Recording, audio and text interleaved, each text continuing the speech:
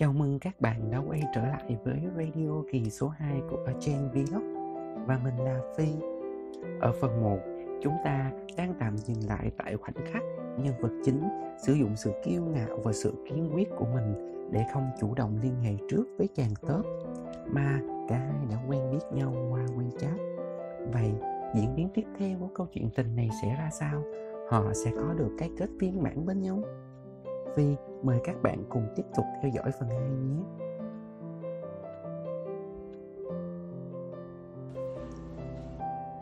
Cứ như vậy, hơn một tuần trôi qua, một đêm nọ, tôi vừa tắm xong và đang sấy tóc.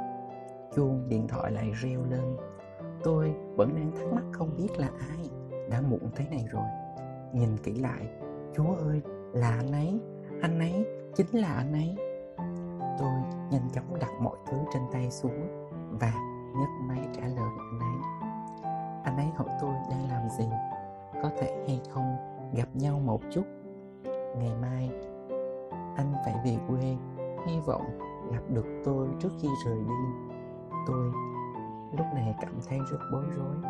Anh ấy lại tiếp tục hỏi tôi lần thứ hai, nhưng mà tôi vừa mới tắm xong, đầu tóc còn chưa chỉnh tề là khó xử. Trong đầu hoàn toàn là hình ảnh khuôn mặt tươi cười, quyến rũ của anh ấy trong tấm hình nền. Tôi không biết bản thân mình bị làm sao luôn. Cuối cùng vẫn là đồng ý đề nghị của anh ấy. Điểm hẹn của chúng tôi được chọn là một quán lẩu nổi tiếng gần nhà. Tôi thì mặc một chiếc áo len tùy ý, cùng với một chiếc áo lê dài, bằng vải bông màu cam, mix với quần thể thao bước vào thang máy đến địa điểm hẹn hò. Tim tôi đập liên hồi, muốn nhảy ra khỏi lòng ngực. Lúc đó, chắc tầm khoảng 9 giờ tối. Trên đường cũng không có quá nhiều người. Chỉ cái nháy mắt, tôi liền nhận ra anh ấy. Khuôn mặt tươi cười, bộ đồ rất có tinh thần, quần jean ôm sát, cổ chân gợi cảm, đôi giày da nhỏ bóng loáng tôi chỉ biết cúi đầu xấu hổ, không dám đối mặt với anh ấy. Nhịp tim lại đập, thình thịch thình thịch thình thịch. Anh ấy đề nghị đi dạo ở công viên nhỏ bên cạnh. Tôi liền đi theo một cách vô thức.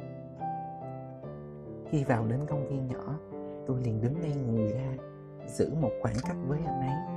Tôi không dám đến gần, tôi sợ mình lại không thể cưỡng lại được cái hơi thở quyến rũ của anh ấy anh ấy hỏi cái gì, tôi liền trả lời cái đó. Tôi cũng không nhớ mình nói gì nữa. Anh ấy hỏi tôi, bụng tôi thon không? Tôi chạm tay vào người và tự tin trả lời, được chứ, sao không? Tôi không biết anh ấy đã đứng cạnh tôi từ lúc nào. Anh ấy duỗi móng về phía tôi, kéo tôi vào lòng và nói rằng anh ấy muốn tự mình kiểm tra. Tôi chưa kịp phản ứng gì anh ấy đã hôn xuống. Tôi thật ngu ngốc quên cả việc chống cự. Tôi không biết nụ hôn đó kết thúc từ lúc nào. Anh ấy đề nghị đưa tôi về nhà. Tôi nói cho anh ấy địa chỉ.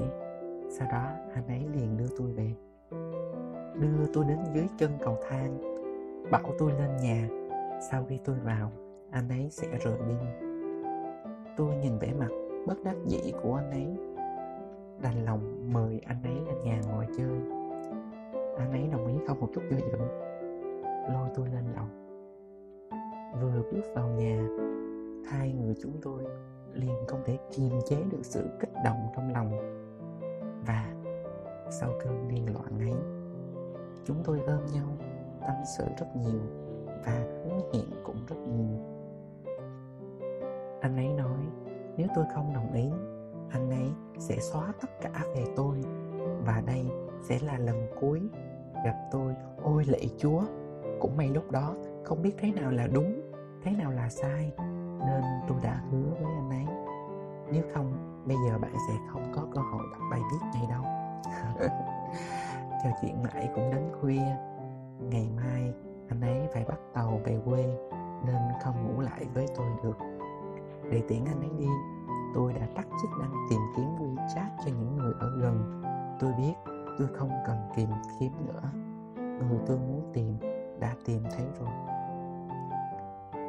Mấy ngày anh về quê là mấy ngày mà tôi tưởng như hẳn mấy năm.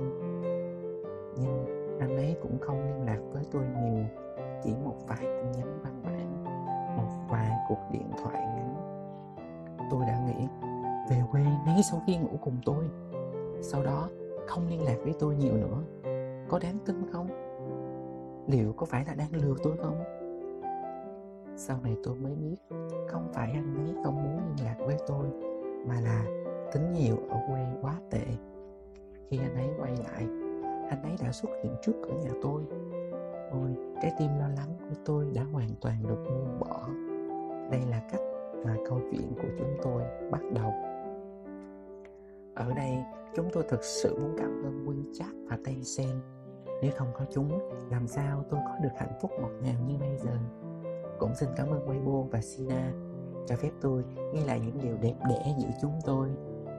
Tôi đã tìm thấy người đáng tin cậy nhất bằng cách ít đáng tin cậy nhất. Cuộc gặp gỡ đáng tin cậy, người bạn đồng hành đáng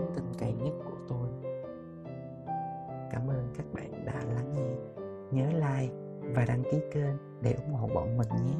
Cảm ơn các bạn đã theo dõi.